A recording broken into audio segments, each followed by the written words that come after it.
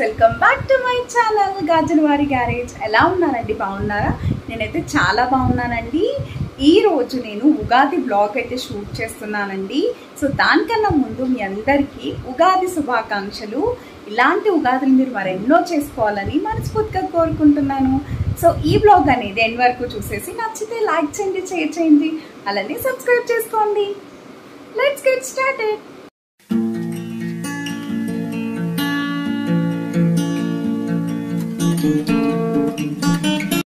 So ఇప్పుడు నేను బయట గుమ్మానికి పసుపు అయితే రాసేసి అలానే నేను తోరణాలు అయితే కడదాం అనుకుంటున్నానండి. సో తోరణాలు అలానే ఫ్లవర్స్ అవన్నీ కూడా తీసుకొచ్చారు. సో అవన్నీ కట్టేసిన తర్వాత నేను ఉగాది పచ్చడి అలానే పులిహార అవన్నీ చేద్దాం అనుకుంటున్నాను. సో అవన్నీ కూడా నేను చేసి మీతో షేర్ చేసుకుంటానండి. సో తప్పకుండా మిస్ కాకుండా చూసేసేయండి. ఇక్కడ తీసుకొచ్చారండి. సో వేప పువ్వులు అలానే తోరణాలు అవన్నీ తీసుకొచ్చారు. సో మామిడికాయ కూడా తీసుకొచ్చారండి. సో ఇవన్నీ కూడా నేను ఒకసారి వాష్ చేసి అలానే గుమ్మానికి పసుపు రాసి తోరణాలు అవన్నీ కూడా కట్టేస్తాను. సో నేను ఇక్కడ తోరణాలు అయితే పెట్టేస్తున్నానండి.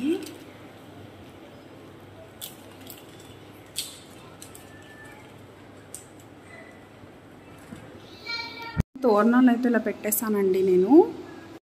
సో ఇప్పుడు నేను వేప పువ్వు పచ్చడి రెడీ చేస్తున్నానండి. సో ఫస్ట్ సో వేప పువ్వు పచ్చడి ఎలా రెడీ చేస్తానంటే సో నేను ఇప్పుడు ఆల్రెడీ కొంచెం చింతపండు అయితే నానబెట్టానండి. సో దాంట్లోకి కొంచెం బెల్లం అలానే బనానా కొబ్బరికాయ అంటే కొబ్బరికాయ అలానే పుట్నాలు పుట్నాల పప్పు అవన్నీ కూడా యాడ్ చేసుకోవాలి. సో నేను అవన్నీ కూడా చూపిస్తానండి. చింతపండు రసాన్ని అయితే రెడీ చేసుకున్నానండి. సో దీంట్లోకి అన్నీ కూడా యాడ్ చేస్తాను.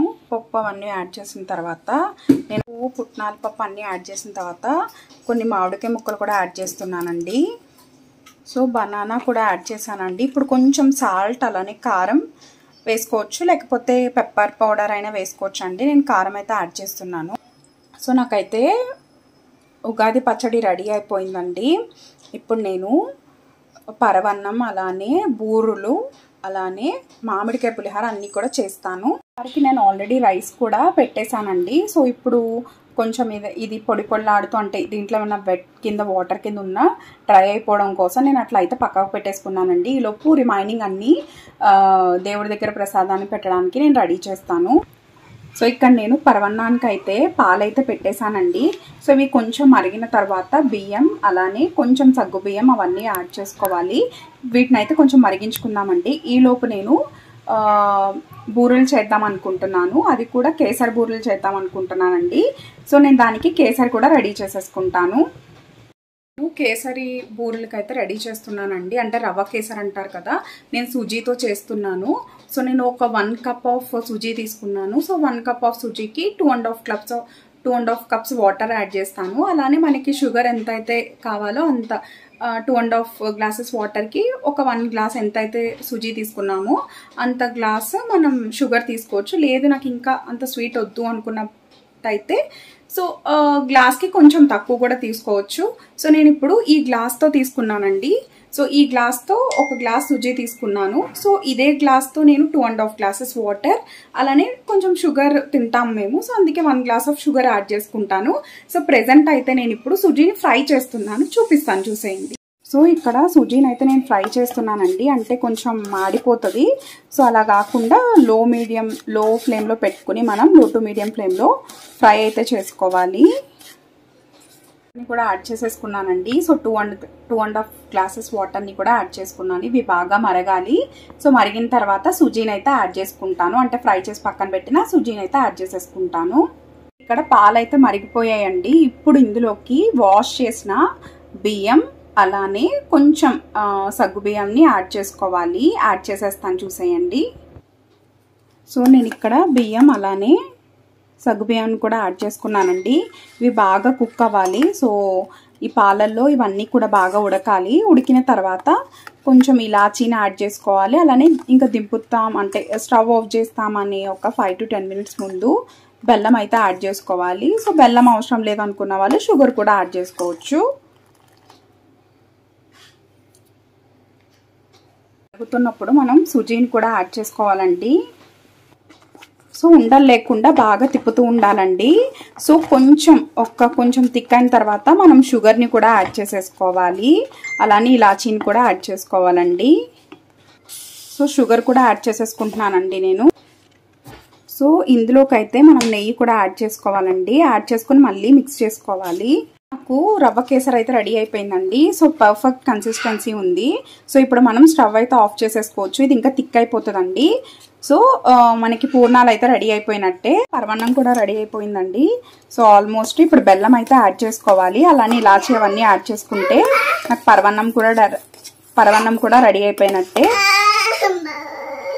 సో నేను కేసరి బాల్స్ అయితే చేసేసానండి. సో బూరెల కోసం. సో ప్రిపేర్ చేసేసాను. సో అలానే ఆయిల్ కూడా పెట్టేసుకున్నానండి. సో దీనిపైన కోటింగ్ ఉంటుంది కదా సో ఆ కోటింగ్ని కూడా రెడీ చేస్తాను. సో చూపిస్తానండి. లోపు ఆయిల్ హీట్ అయ్యేలోపు నేను ఆ కోటింగ్ని ప్రిపేర్ చేస్తాను. అది కూడా మనం అంటే మినపప్పుని రుబ్బకుండా అంటే నానబెట్టి రుబ్బకుండా ఇన్స్టెంట్గా మనం కలుపుకుని పైన తోపుని కూడా ప్రిపేర్ చేసుకోవచ్చు. అలాగో చూపించేస్తాను. మైదా తీసుకుంటున్నానండి. సో ఒక గ్లాస్కి తక్కువ మైదా తీసుకుంటున్నాను. నేను రైస్ ఫ్లోర్ సో అదే గ్లాస్తో పావు కప్పు నేను రైస్ ఫ్లోర్ని కూడా తీసుకుంటున్నాను. సో కొంచెం బెల్లం బెల్లం పౌడర్ని యాడ్ చేశాను. అలానే కొంచెం సాల్ట్ని యాడ్ చేసి సో కొంచెం పల్చగా మనం కలుపుకోవాలండి వాటర్ని యాడ్ చేసుకుని. అనేది ఇలా ఉన్నట్టయితే సరిపోతుందండి. సో ఇలాగా సో దీంట్లోకి ఇప్పుడు మనం ఇందాక ప్రిపేర్ చేసుకున్న హల్వా ఉంది కదా సో ఆ హల్వా బాల్స్ని ఇందులో యాడ్ చేసి సో మనం బూరెల కింద వేసుకోవడమే. బూరెలు అనేది ఇలా వేసుకోవడమేనండి. సో ఇన్స్టెంట్ బూరెలు ఇలా అయితే ప్రిపేర్ చేసుకోవచ్చండి. సో నేను బ్యాక్కి టర్న్ చేసేసాను. సో గోల్డెన్ బ్రౌన్ కలర్ వచ్చే వరకు ఫ్రై చేసుకున్నట్టయితే సరిపోతుంది. ఇన్స్టెంట్ బూర్లు అయితే ఇలా ప్రిపేర్ చేసేసుకోవచ్చు అండి ఎప్పుడు కావాలితే అప్పుడు. అంటే నైట్ పప్పు నానబెట్టుకుని అట్లా ఏం అవసరం లేదు. సో ఇంకొక వాయి అయితే వేసానండి. ఒక వాయి అయితే నేను తీసేసాను ప్లేట్లోకి. తాలింపు కూడా అంటే రెడీ చేస్తున్నానండి పోపును కూడా. ఫైనల్గా నేను చేసిన ఇన్స్టెంట్ బూరులు అలానే మామిడికాయ పులిహార అలానే పరవన్నం అలానే ఉగాది పచ్చడి అన్నీ కూడా నేను చిటికలో రెడీ చేసేసాను. నచ్చితే ఈ బ్లాగ్ మీ ఫ్రెండ్స్కి ఫార్వర్డ్ చేయండి అలానే ఒక లైక్ చేయండి షేర్ చేయండి అలానే సబ్స్క్రైబ్ చేసుకోండి.